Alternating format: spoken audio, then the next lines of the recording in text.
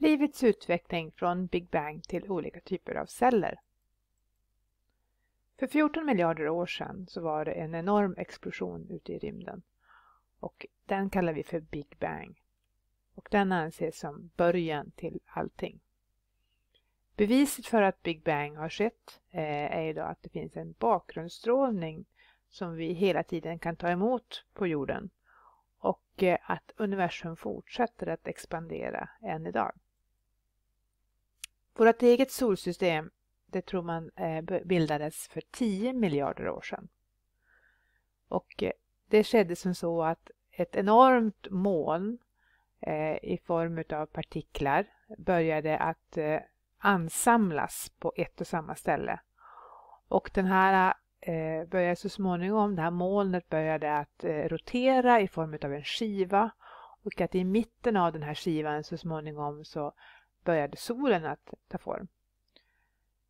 Andra partiklar som roterade runt omkring solen började att kollidera och forma våra planeter. Och så småningom så hade våra, eh, var det bara planeterna kvar i det här eh, roterande cirkeln här. Och då hade vi fått vårt solsystem.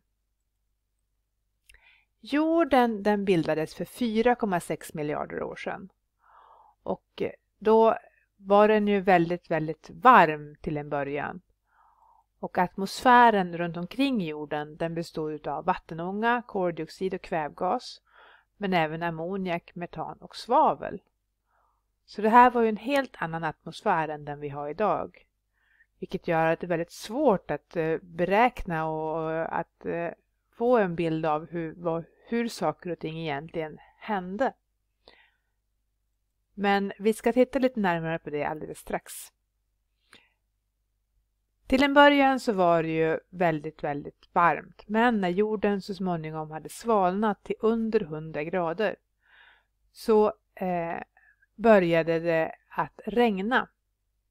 Den här bilden är ju inte egentligen så bra men jag tyckte den ändå fick bara en väldigt bra bild för att här kan man se väldigt mycket vatten alla de här haven som omger jorden, de eh, fanns ju inte till en början.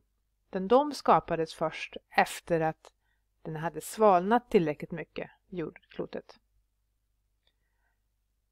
För att i början så var det väldigt mycket vulkaner och de här landområdena som, det fanns ju landområden, kontinenterna låg inte på samma ställe som de ligger idag. Men de landområden som fanns där hade vi då väldigt mycket vulkanisk aktivitet. Och det här, eh, så småningom så började ju liv att uppstå på jorden och hur livet började, där har man lite olika teorier. Det första livet, eh, en teori som har varit liksom en teori som har varit väldigt länge och som man har liksom forskat och grunnat på eh, det är att vattnet skulle, livet skulle börja i vattensamlingar. Här eh, har vi en liten vattensamling som skulle kunna illustrera hur det eh, tänker, man tänker sig att det skulle kunna ha hänt. Antingen i små vattensamlingar eller eh, på ytan här i havet. Eh, och eh, Det finns ju även vatten uppe i moln. Så att det skulle också kunna vara en teori att man, man fick energi i form av eh, blixtnedslag eh, och att det skulle kunna ha gjort att de här molekylerna har liksom eh, reagerat med varandra och börjat eh, utvecklas. En annan teori som man kan se här nere det är att eh, livet skulle kunna ha börjat vid så kallade smokers på havsbotten. Här kan man se hur eh, det ryker ut eh, svavelväte ur de här. Och eh, det är så att kring de här smokersna på havsbotten så eh, finns det organismer som lever på att eh, eh utvinna svavel eh, som energikälla. Så att man omvandlar svavelväte här eh, och då får man, man, man lever på det istället för kol som man gör på andra ställen. Och så som bilden naturligtvis då visar är ju att en teori är också att livet eh, inte uppstod på jorden utan att det, det kom via andra partiklar ifrån rymden via kometer eller meteoriter ifrån andra eh, områden i rymden. Men eh, den här teorin från rymden den är ju som egentligen inte den, den mest eh, forskade på, ska jag vilja säga. För det som forskades på länge, det var hur de här aminosyrorna skulle kunna ha uppstått.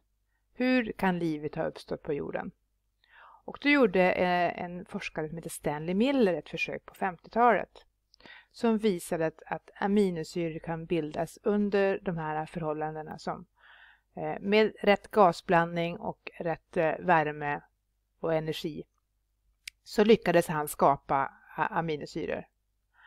Eh, han använde ammoniak, metan och väte. Och så satte han det i en sån här behållare. Så han hade gasblandningen här uppe. Och så eh, kokade han vatten här så att han fick vattenånga. Och så lät han det här cirkulera med de här eh, molekylerna, den här energin och den här, eh, liksom, den här miljön helt enkelt. Och så småningom så hade han faktiskt lyckats eh, skapa aminosyror som ju är en väldigt, väldigt viktig molekyl för liv överhuvudtaget. Så det man tänker är att med rätt förhållanden så kan de här små molekylerna eh, skapas. Och aminosyror, här ser ni ju att här har vi kväve, vi har eh, svavel här, vi har kol som man fick då, som också fanns i atmosfären. Och eh, även i våra nukleotider så har vi mycket kväve och kol. Så att de här spontant skulle kunna ha uppstått. Och om de sen lyckades reproducera sig så har man ju då början till liv, molekyler som kan reproducera sig. Och att man så småningom också kunde få encelliga organismer. Här har vi en bild på en encellig organism, en bakterie, en E. coli-bakterie som vi har i våra tarmar. Eh, de här molekylerna, från molekyl till cell kan man ju fundera på hur, eh, är inte det ett väldigt stort steg?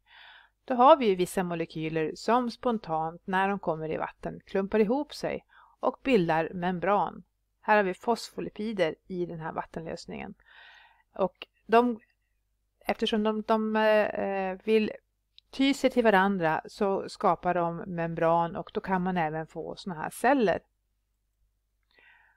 Och när man hade fått celler eh, så fick man ju också då eh, de här bakterierna.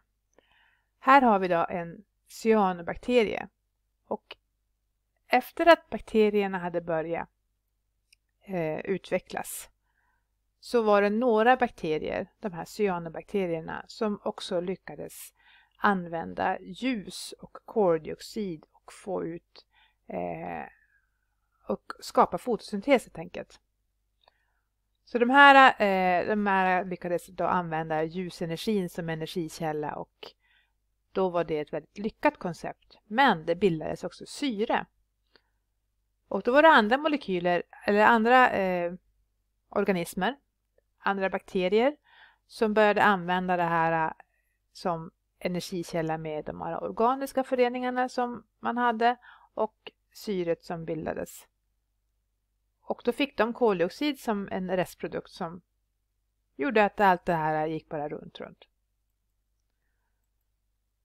Så de här cyanobakterierna, eller blågröna bakterier som de också heter, de börjar äh, att producera syre och eh, det man ska komma ihåg är ju då att det här till en början var ett gift.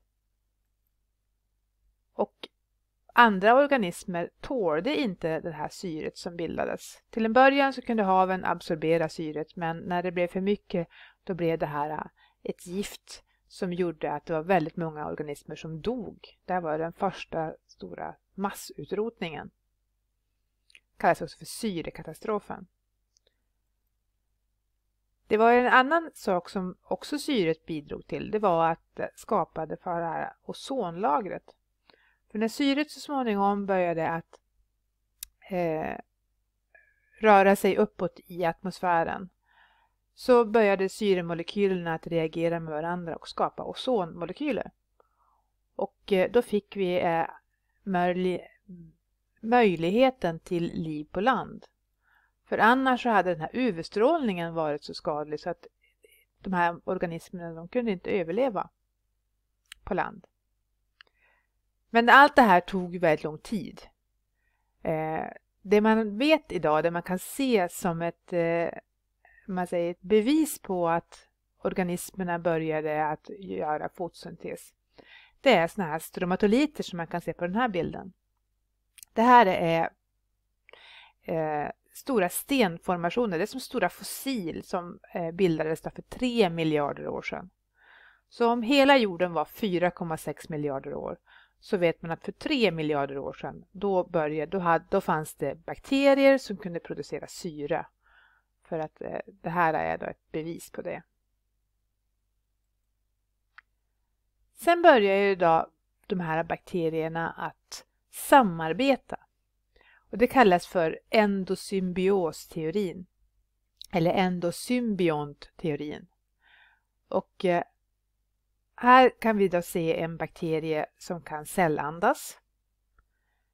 Här nere så kan vi se en bakterie som kan göra fotosyntes. En blågrön bakterie. De här har ju olika finesser. Olika utvecklingslinjer. Men för att våra egna celler skulle utvecklas så eh, tror man att de här äh, gick in i varandra och började att samarbeta och att det var ett väldigt gynnsamt samarbete. Så den här linjen i mitten här, då har vi våra, det är liksom de vanliga djurcellerna. Då tror man att det var en sån här äh, bakterie som kunde cellandas som gick in i en sån här vanlig cell. Och på så vis så skapades då djurcellerna. Sen blev det ytterligare ett samarbete när de här blågröna bakterierna också gick in. Då fick vi då början till växtceller. För de här då, de har ett eget DNA. Det har även de här, det här som då blev mitokondrierna så småningom. Mitokondrierna har också ett eget DNA och kloroplasterna. Vilket då är ett bevis för att de här kom från, det var en, en, en symbios till en början. De kom från ett annat håll. En stor grej var ju när man började att föröka sig sexuellt. Då fick evolutionen en enorm upp, man säger, den speedades på. Hastigheten eh, ökades på enormt. Och anledningen till det är ju då att innan man började med sexuell förökning så klonade man sig. Och då tog ju evolutionen väldigt, väldigt lång tid för att även om det skedde mutationer så, så spreds inte mutationerna så snabbt. Utan det, det, det skedde en utveckling men den tog väldigt lång tid. Men när man började föröka sig sexuellt så blev ju alla avkommor olika. Och då fick eh, det här det en enorm skjuts, evolutionen. Vanliga djurceller kallas ju för eukaryota celler. Och bakterier de har ju då ingen eh, cellkärna men det har även inte arkeer. Så båda de här de kallar man för prokaryota celler och våra celler då kallar vi för eukaryota celler. Man tror att de här cellerna, de här eukaryota cellerna, de är mera släkt med arkeer än de är med bakterier. Och anledningen till det, det är då att båda de här äh, kan göra någon form av proteinsyntes. Så att de här eh, olika kladogrammen som de heter, de kan ni se i er bok och de visar ju liksom släktskapet att ju närmare en sån här förgrening två organismgrupper är, desto närmare släkt är de. Och så har man ju då olika motivationer till att man har olika saker gemensamt. Och ju mer man har gemensamt, desto mer släkt är man. Så så har de olika cellerna utvecklats. Tack för mig!